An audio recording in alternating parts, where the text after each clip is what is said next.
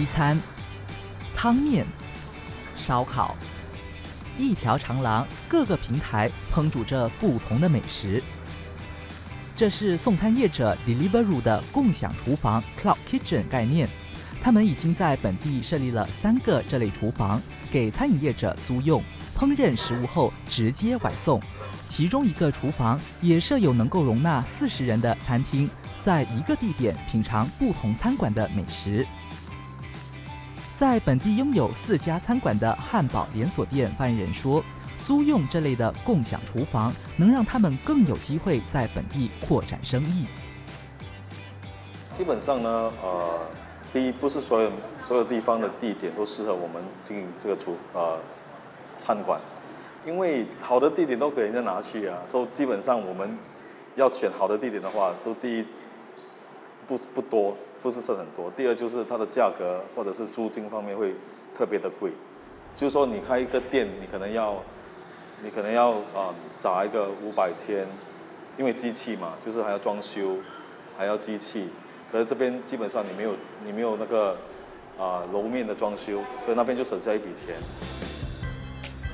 美食博客汪万荣认为，餐馆如果能够在不同地区的共享厨房烹饪和外送食物，食客们以后就能够吃到较远地区的美食。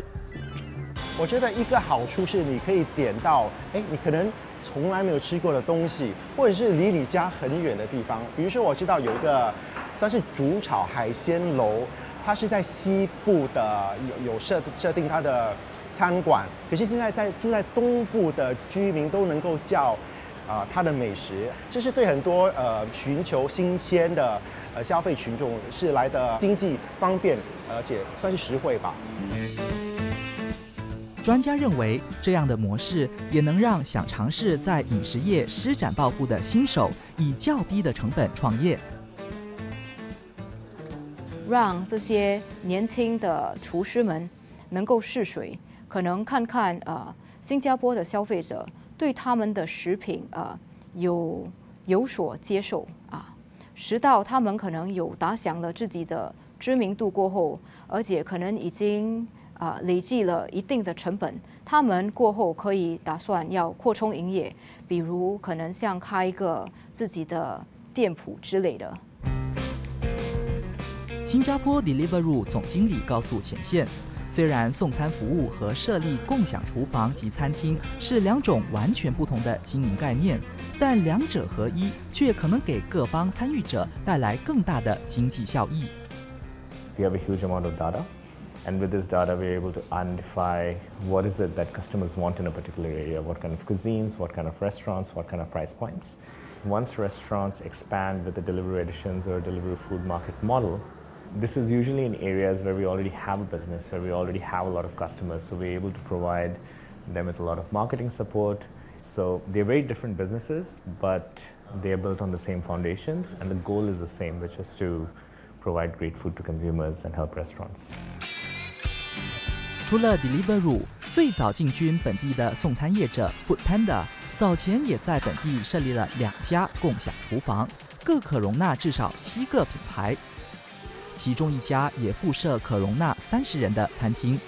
Food Panda 在回复前线询问时表示，他们是本地第一家附设餐厅和共享厨房的送餐业者。共享厨房的初衷是为了能将不同地区的美食带到全岛。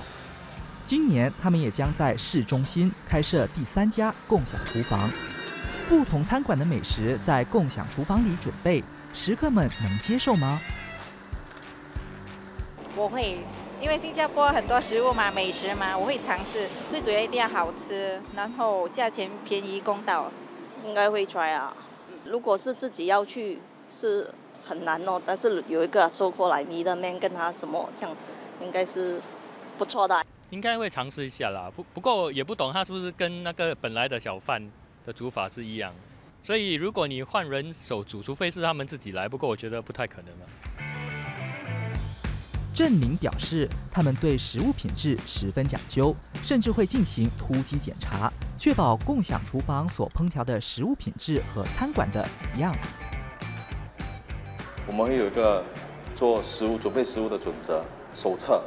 所以他们必须要先通过这个训练，然后他们才能够被派到来这边啊工作。然后我们的准我们的手册呢也会放在这个厨房里面，我们也会就是当做一个 mystery shopper，当做是顾客这样，我们也会点餐。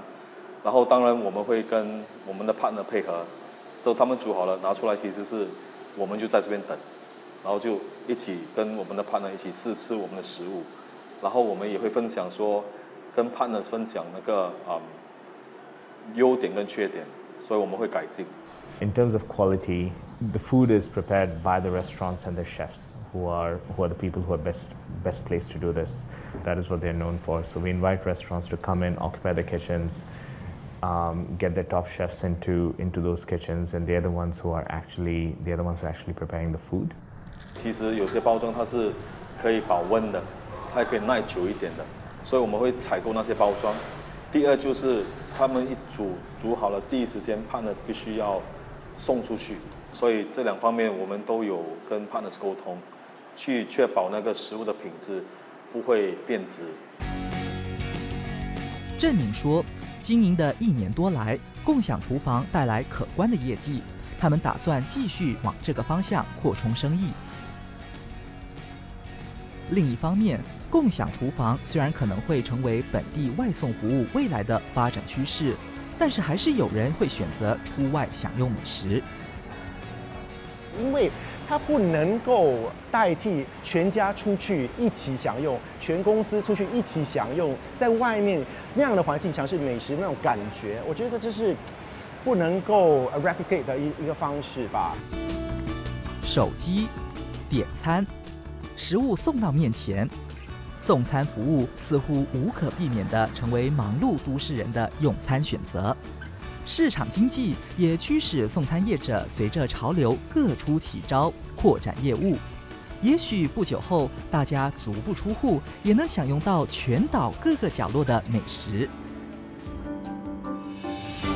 前线追踪，欢迎您针对任何课题发表意见和看法，以及提供节目素材和线索，让我们为您追踪报道。